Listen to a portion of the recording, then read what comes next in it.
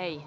Kvinnor i Europa dör fortfarande av illegala aborter. Vad tänker du göra för att se till att kvinnor faktiskt har rätt till sin egen kropp?